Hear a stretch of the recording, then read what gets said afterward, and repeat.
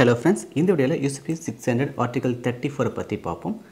Disclaimer on effectiveness of documents as a bank நான் வந்து பார்த்தீங்கன்னாக்கா பெனிஃபிஷரி வந்து என்ன டாக்குமெண்ட்ஸ் கொடுத்துருக்கானோ அந்த டாக்குமெண்ட்ஸ் வந்து எல்சி பிரகாரம் இருக்கா இல்லையான்னு மட்டும் தான் நான் செக் பண்ணுவேனே தவிர எல்சிக்கு வெளியே போயிட்டு வந்து என்னால் பார்க்க முடியாது. ஓகேங்களா ஃபார் எக்ஸாம்பிள் எல்சியோட ரெக்கமெண்ட் வந்து பார்த்தீங்கன்னாக்கா thousand chairs document call for வந்து பார்த்தீங்கன்னாக்கா இன்வாய்ஸ் பிஎல் பேக்கிங் லிஸ்ட் ஓகேங்களா ஸோ பெனிஃபிட் வந்து டாக்குமெண்ட் கொடுத்துருக்கான் அதில் வந்து பார்த்தீங்கன்னாக்கா packing list invoice and BL so LC ரெக்க ரெக்கமெண்ட் கேட்ட மூணு டாக்குமெண்ட்ஸும் ப்ரெசென்ட் பண்ணிட்டான் அந்த மூணு டாக்குமெண்ட்ஸ்லேயே வந்து பார்த்தீங்கன்னாக்கா தௌசண்ட் சேர்ஸ் எவிடன்ஸ் இருக்குது ஓகேங்களா? பட் ஆக்சுவலாக அவன் ஷிப் பண்ணது வந்து பார்த்தீங்கன்னாக்கா நைன் ஹண்ட்ரட் சேர்ஸாக வந்து ஷிப் பண்ணியிருக்கான் பட் அவன் டாக்குமெண்ட்டில் வந்து பார்த்தீங்கன்னாக்கா தௌசண்ட் சேர்ஸை கொடுத்துருக்கான் ஸோ அவன் ஆக்சுவலாக வந்து நைன் ஹண்ட்ரட் ஷிப் பண்ணியிருந்தாலும் வந்து பார்த்தீங்கன்னாக்கா பேங்க் வந்து பொறுப்பு எடுத்துக்காது. Bank assumes no liability or responsibility so அதோடைய வெயிட்டாக இருக்கட்டும் குவான்டிட்டியாக இருக்கட்டும் குவாலிட்டியாக இருக்கட்டும் அதோடைய கண்டிஷனாக இருக்கட்டும் இது எதுலேயுமே வந்து பார்த்தீங்கன்னாக்கா பேங்க்கோடைய எந்த ரெஸ்பான்சிபிலிட்டியும் எடுத்துக்காது பேங்க்குக்கு எந்த ஒரு லைபிலிட்டியும் கிடையாது. ஆஸ் எ பேங்க் நீ என்ன டாக்குமெண்ட் கொடுத்துருக்க எல்சியோட ரெக்கமெண்ட் என்ன இதுபடி தான் நான் மேட்ச் பண்ணுவேன் தவிர அவுட் சைட் ஆஃப் எல்சி வந்து நான் வெளியே போய்ட்டு இறங்கி செக் பண்ண மாட்டேன். வெரி சிம்பிள் ஸோ இப்போ ஆர்டிகல் உள்ள போவோம்.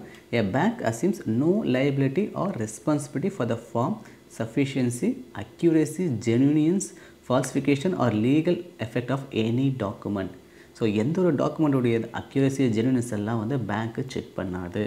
ஆஸ் பர் எல்சி அவன் டாக்குமெண்ட் ப்ரெசென்ட் பண்ணியிருக்கானா?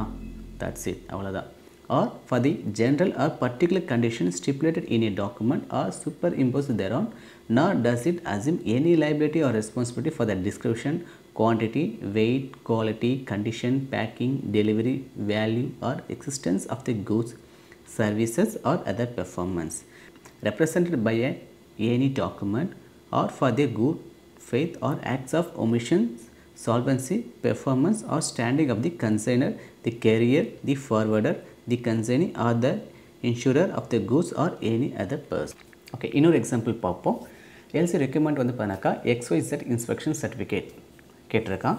ஸோ பெனிஃபிஷியர் வந்து டாக்குமெண்ட் கொடுத்துருக்கான். அந்த டாக்குமெண்ட்டில் வந்து பார்த்தீங்கன்னாக்கா இஷ்யூர் வந்து பார்த்தீங்கன்னாக்கா எக்ஸ்ஒய்செட் இன்ஸ்பெக்ஷன் கம்பெனி தான் கொடுத்துருக்கான். ஓகேவா ஏன்னா இது இருந்தால் போதும். ஸோ பேங்க் வந்து ஆக்சுவலாக அந்த எக்ஸ்ஒய்செட் கம்பெனி தான் இஷ்யூ பண்ணியிருக்கான்ட்டு அவன் நேரில் போய் பார்க்கணுன்னா அவசியம் கிடையாது. ஓகேங்களா ஸோ ஒருவேளை எக்ஸ்விசட் கம்பெனி கொடுக்காம வேறு எவனோ கொடுத்துருந்தாலும் bank is not liability or responsibility பேங்க்குக்கு எந்த ஒரு பிரச்சனையும் கிடையாது. As per LC requirement XYZ inspection certificate issue பண்ணணும்.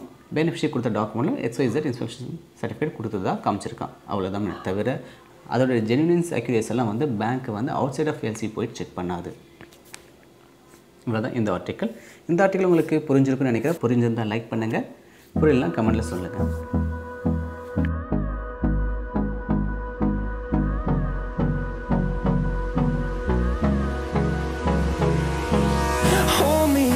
till I get out.